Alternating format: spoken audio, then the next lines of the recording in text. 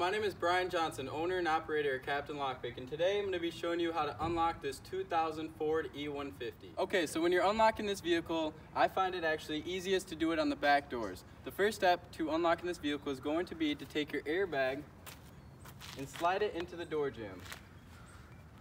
Just push on it and go up and down until you feel it slide in. Begin pumping up the airbag.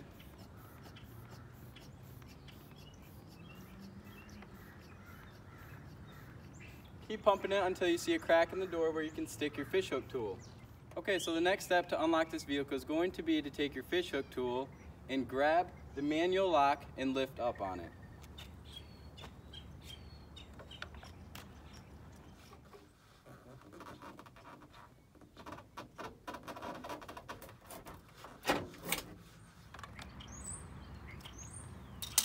Okay, the last step to unlocking this vehicle is going to be to deflate your airbag,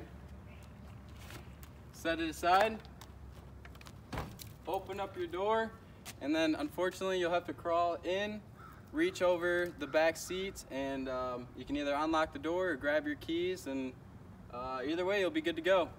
Thank you for watching my video on how to unlock this 2000 Ford E150. If you have any questions, feel free to leave them in the comments. Um, I do appreciate it if you like the video and subscribe.